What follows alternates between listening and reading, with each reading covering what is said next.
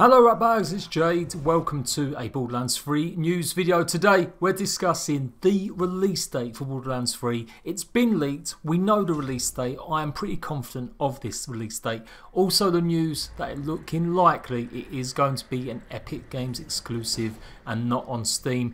If you believe Twitter today, it is April Fool's, but I really genuinely think this is true. People have been going around with these ideas about when Borderlands is going to release. They're saying that it could be October because it celebrates 10 years since the first Borderlands game come out and in the trailer there's some bollocks about seeing the letters 1 and 0 and when you add 1 and 0 it equals 2 plus 2 equals quick maths.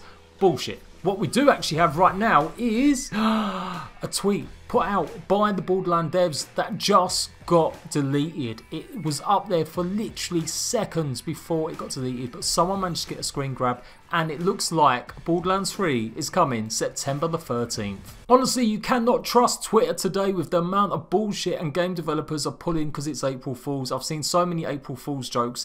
It's becoming a little bit crap.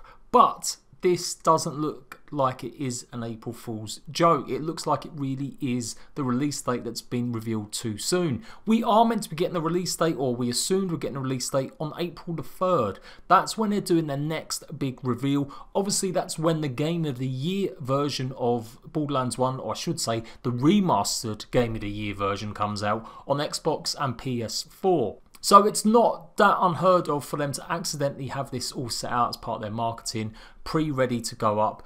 Basically, they've made a huge, huge, massive mistake. Of course, Borderlands 3 is looking likely to be called The Mask of Mayhem, and it does appear in this tweet as September the 13th. So I really genuinely think this is something Gearbox have just done by mistake, or maybe not done by mistake, just to draw up some even more, more massive PR.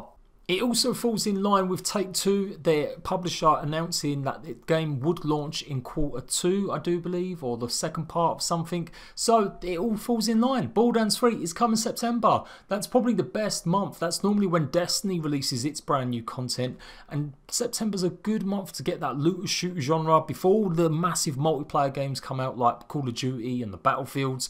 September is pretty much one of the best months. Get in early, get the people playing together, it sounds like a good plan to me.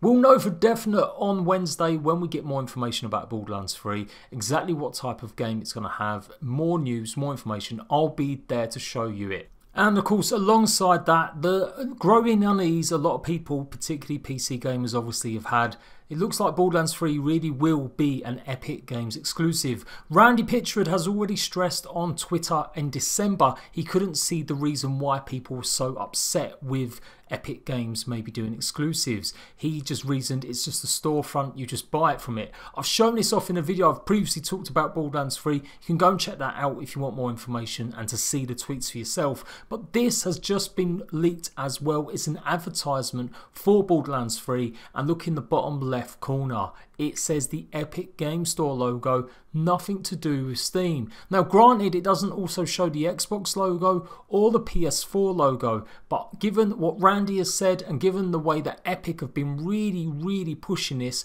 I see Borderlands 3 being an Epic Games exclusive.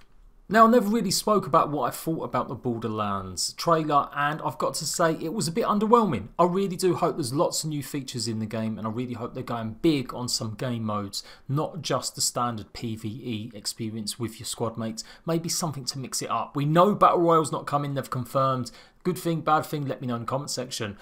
Other news you need to know is this the remaster of Borderlands 1 is obviously coming out Wednesday. If you own it on PC, you don't have to buy any other version. You'll get a free upgrade that redoes the graphics a little bit more, gives you all the free DLC and all the new stuff like the brand new shift codes being added to the game.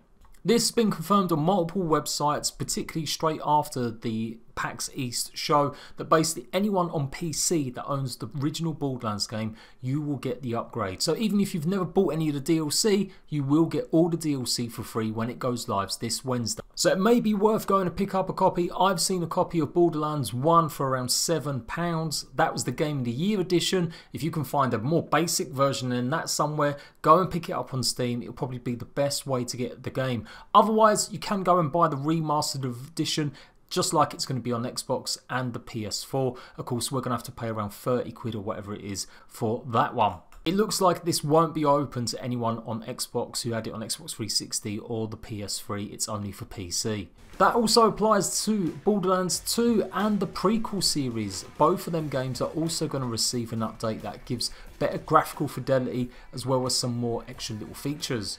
So if you're looking to play Borderlands for the first time, you may want to go and get yourself a cheap Borderlands 1 key and basically upgrade it for free when it comes out on Wednesday. What are you going to be buying? Are you going to be buying this? Are you going to be saving your money for the new game?